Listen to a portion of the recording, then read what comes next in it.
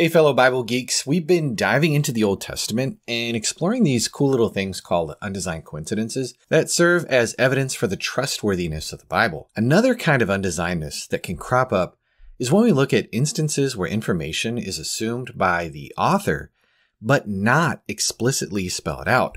J.J. Blunt called this the uniformity of expressive silence, where repeated omissions seem to carry meaning. Today, I want to zoom in on a couple of these gems within the story of Isaac and Rebekah and Jesus and his adopted father, Joseph. Now, picture this scene from Genesis 24. Abraham's servant is out there on a mission to find a wife for Isaac. He stumbles upon Rebekah just going about her day carrying her water jar, and when the servant asks for a drink, Rebekah not only gives him water, but also takes care of his camels. Now, here's where it gets interesting. In the story, there is a whole lot left unsaid about Rebecca's father. It's like the author's subtle way of dropping hints without explicitly stating them. Let's dig into Genesis 24, 22 through 28 and unpack it a little bit. It reads, When the camels had finished drinking, the man took a gold ring weighing a half shekel and two bracelets for her arms, weighing 10 gold shekels, and said, Please tell me whose daughter you are. Is there room in your father's house for us to spend the night? She said to him, I am the daughter of Bethuel, the son of Milcah, whom she bore to Nahor. She added, We have plenty of both straw and fodder, and room to spend the night. The man bowed his head and worshipped the Lord and said, Blessed be the Lord, the God of my master Abraham, who has not forsaken his steadfast love and his faithfulness towards my master. As for me, the Lord has led me in the way to the house of my master's kinsman. Then the young woman ran and told her mother's household about these things. Now, let's chat about Bethuel's part in the story. Normally, as Rebecca's dad, he'd be the one in charge of the marriage arrangements. But in Genesis 29, it's Laban, Rebekah's brother, who takes the lead when Laban's daughter ties the knot. What's interesting is that, just like Rebekah, Laban's daughters also had brothers. Now, let's compare this with Bethuel's role in Genesis chapter 24. When Abraham's servant asks, Please tell me whose daughter you are. Is there room in your father's house for us to spend the night? There's a bit of an odd response.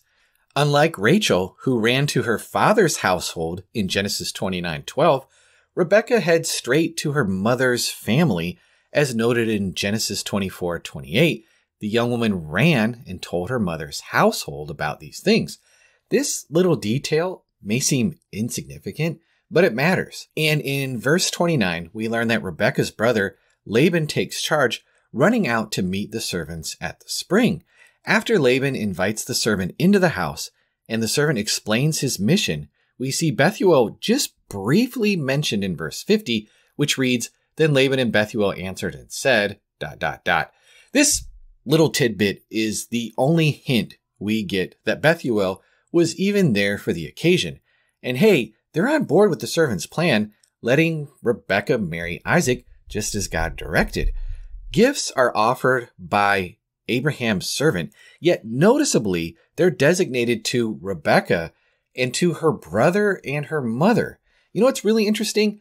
There is no mention whatsoever of gifts for Bethuel. In verse 55, Rebecca's brother and mother suggest that she remain with them for at least 10 days before departing.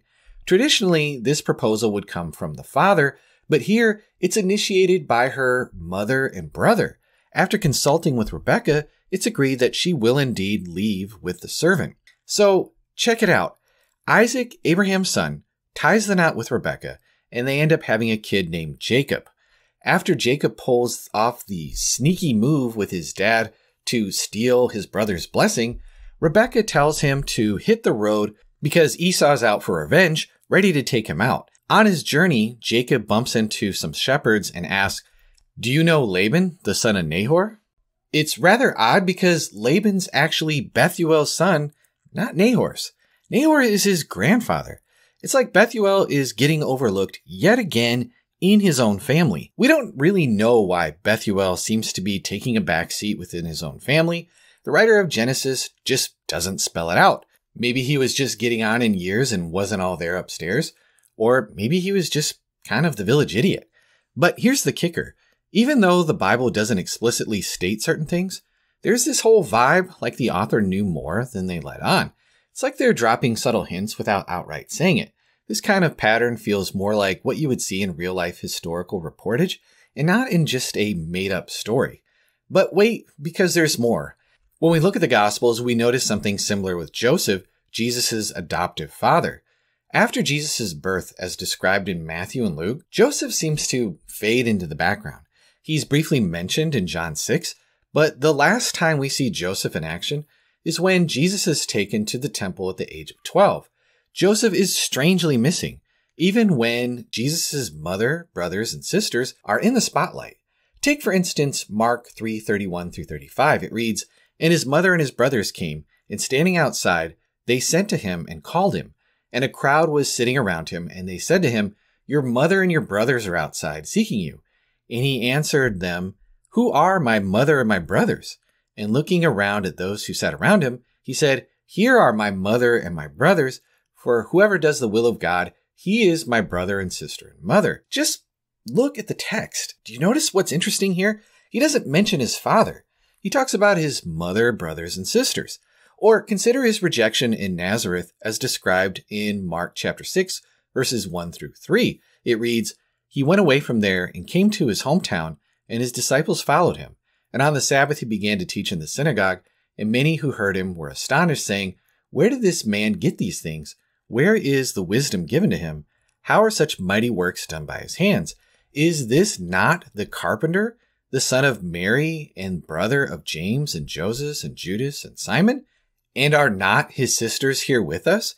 Notice Jesus' hometown crowd claims that he's not the son of Joseph, but he's referenced to being the son of Mary.